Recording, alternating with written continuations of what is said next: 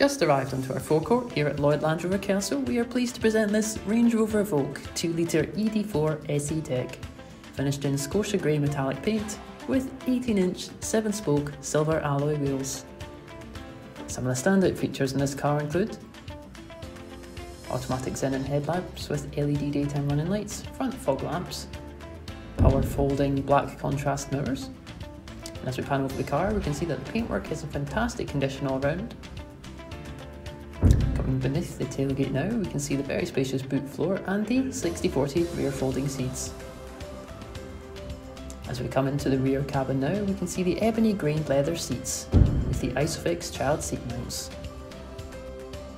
As we come into the front of the cabin now, we can see the 12-way heated front seats, which as you can see are in fantastic condition. On the multifunction steering wheel we have the cruise control, the wiper stalk, digital dash display, and the hands-free mobile controls. As we come into the 8-inch touch display, we have the satellite navigation,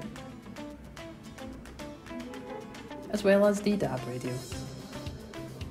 As we come down to the centre console, we can see the dual zone climate control and the heated seat button.